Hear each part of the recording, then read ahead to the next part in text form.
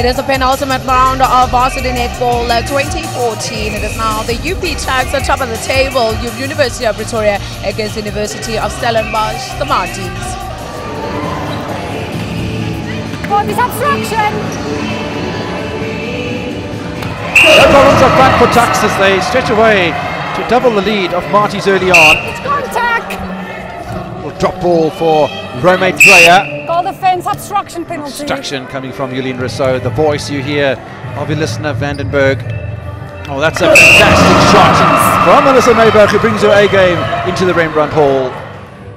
94 at the moment, the score for the Tuck side, looking to make it even more than that. And, well, top form tonight, isn't she? She is absolutely fantastic. The moment's hesitation for Rome's Dreyer to get into position is that Libba was the distributor. And contact made by the goal defence, Yulien Rousseau, and an opportunity there for Vanessa Meriden Toy.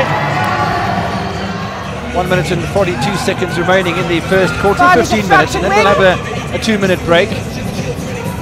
Wonderful play by Melissa Myburgh. You see how she pulled away from her mark of the goal defence, Yulien Rousseau. And again, just finding her range so nicely.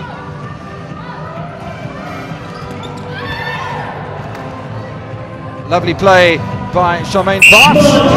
Party side to draw first blood in the second quarter.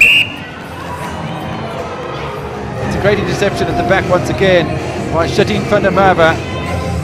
Just so much good work for the Tuck side. Wing defense to goal attack. Melissa Myburgh. Now Libba.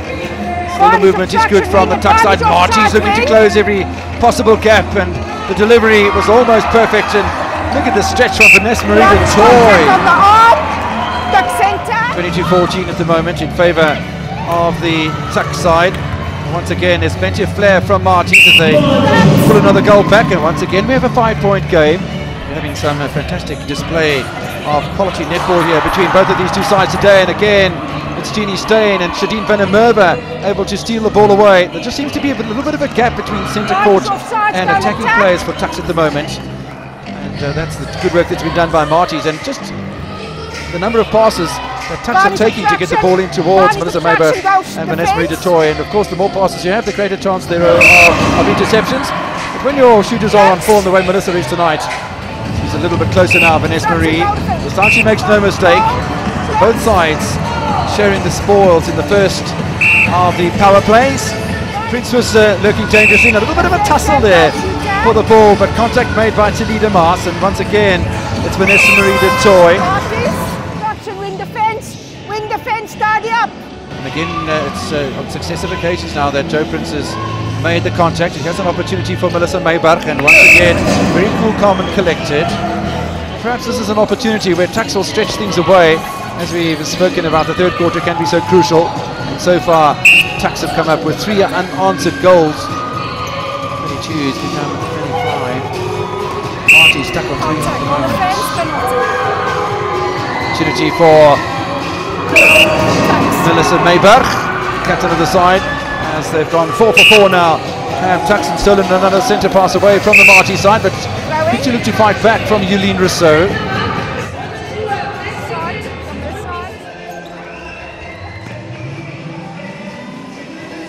But it does look even as early as the middle stages of the third quarter that we are going to have a Pretoria Bloemfontein final.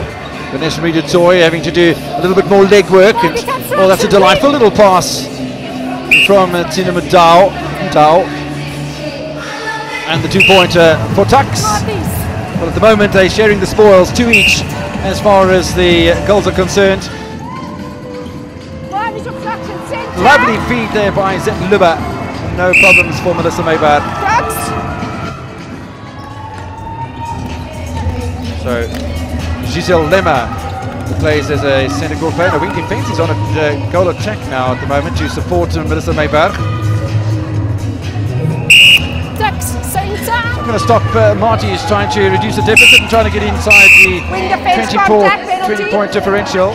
He's able to link up. She'll probably just play the feeder role. That is the end of the fourth quarter, the end of the match as well. It seemed to be ended a little prematurely. I thought there were still 90 seconds remaining. 68 to 46 in favour of UP Tuks. It will be a Tuks-Kovsies final.